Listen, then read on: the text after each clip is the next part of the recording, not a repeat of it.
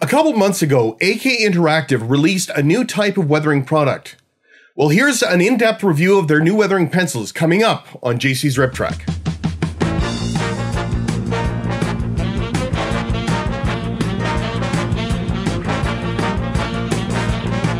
Hi there, my name is John and welcome to JC's Riptrack. If this is your first time here and you're looking for advice and tips on how to transform your plastic models into something that looks like it belongs on the rails today, click on subscribe and that little bell icon so you can be notified anytime there's a new video. So have there been any products, whether dedicated for weathering or otherwise, that change the way you do things? Let me know in the comments section down below.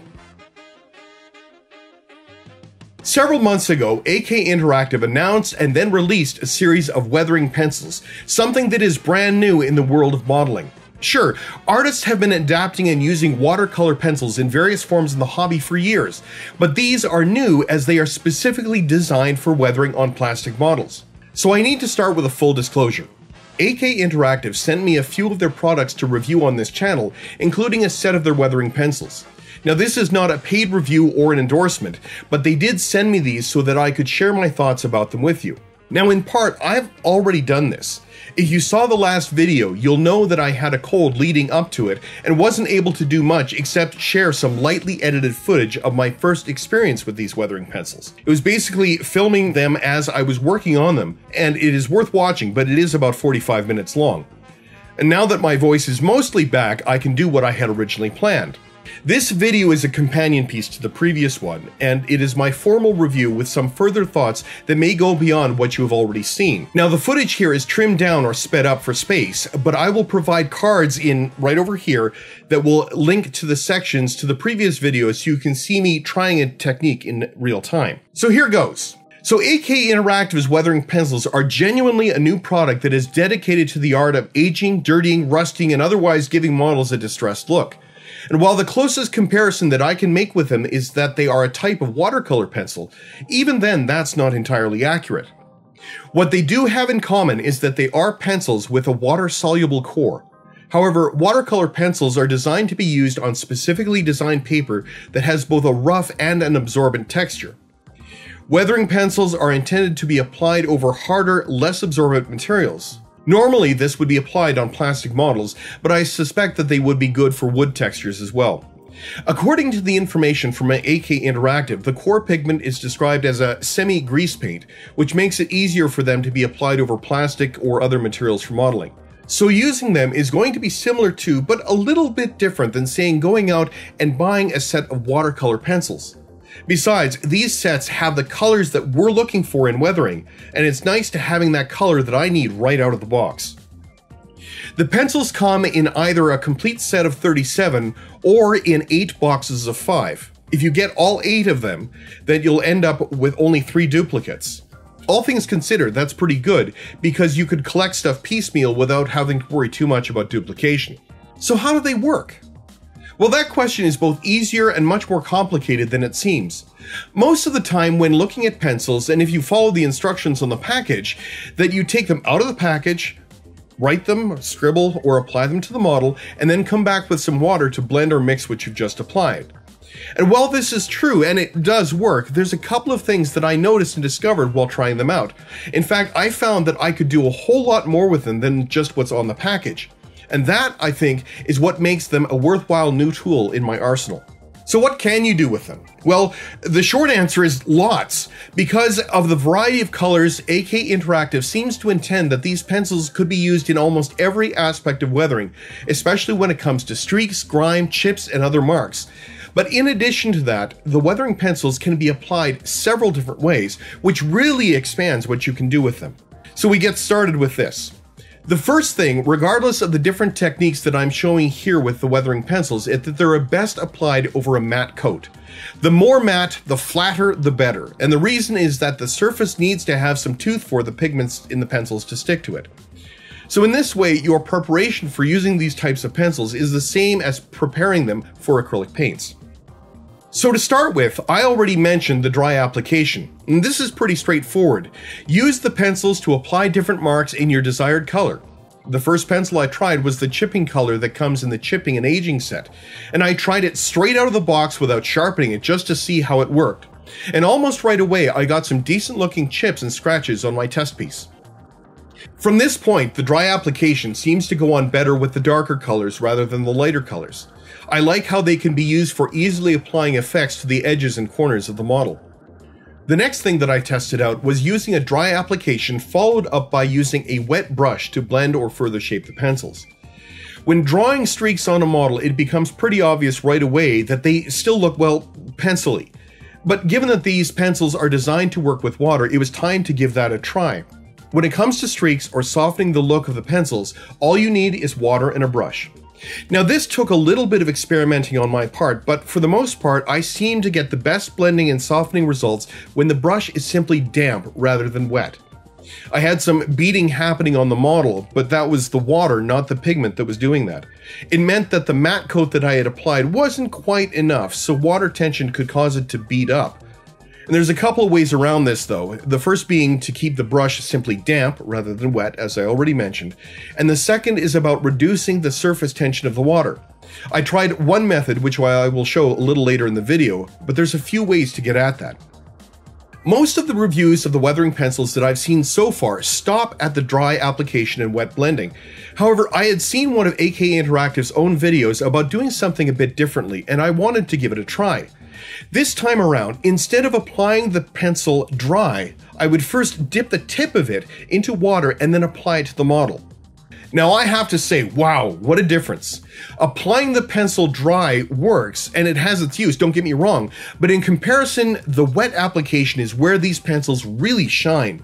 Here they go on much smoother, potentially even with a much lighter touch, and I was able to do a lot more in a lot less time this way. Now the pencil tip doesn't stay wet for long, so you're going to be dipping it in the water plenty of times as you go, but the difference really is night and day.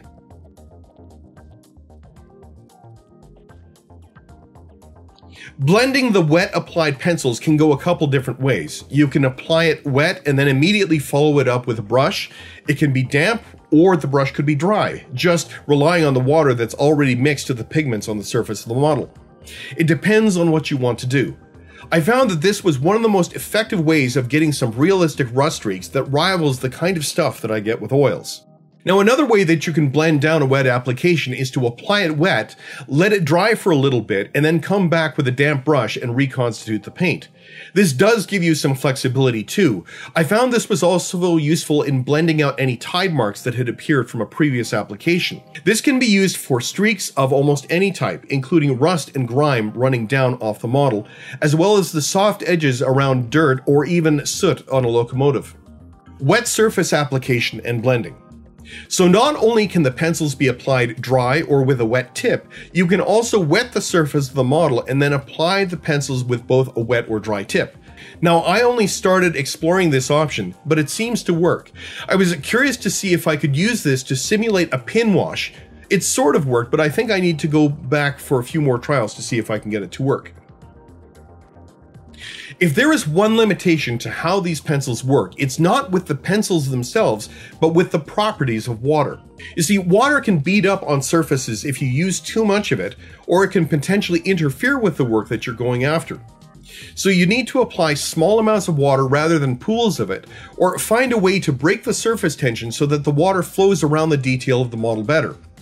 One of the benefits of oils, for example, is that mineral spirits are far thinner and can pull pigment into these detail areas quite easily.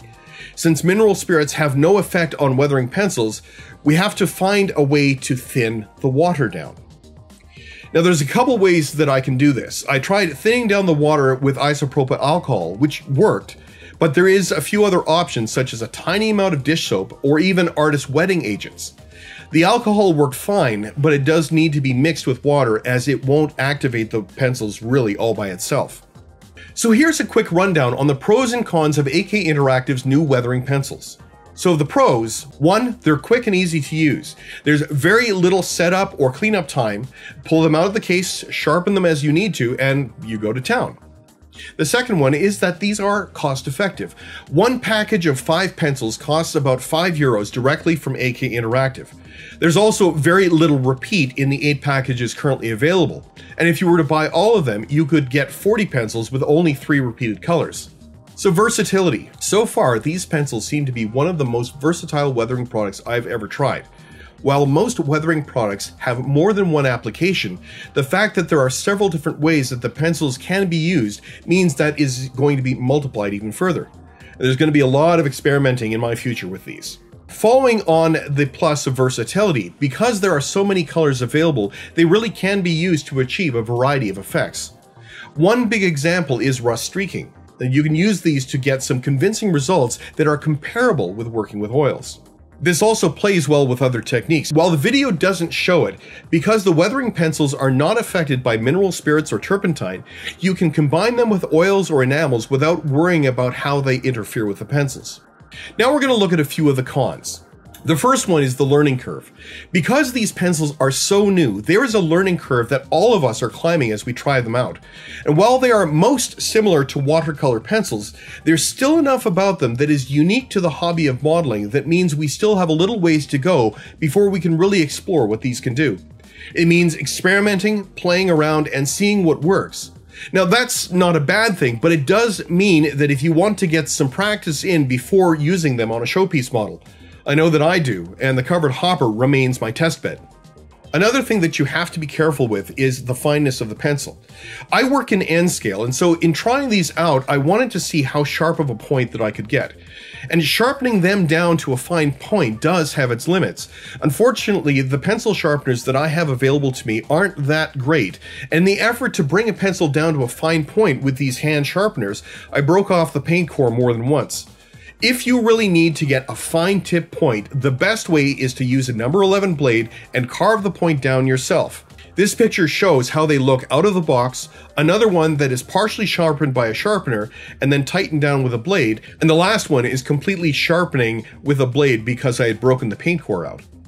Out of the box, particularly with the lighter pigment pencils, when dry they seem to be a little thin.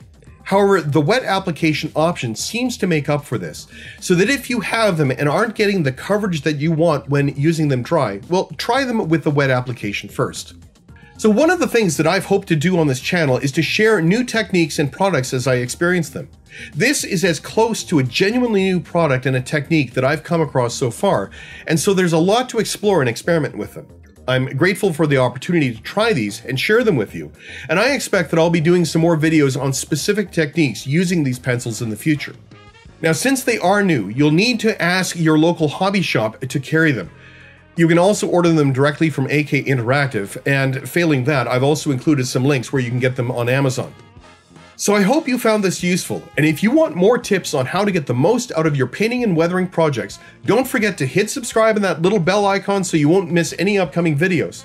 Also, if you haven't already, check out the other videos on this channel as well as some of the social media links down below. You can go to my Patreon page and you get involved in the creative process for this channel. So thanks so much for watching, good luck, and may you keep on track.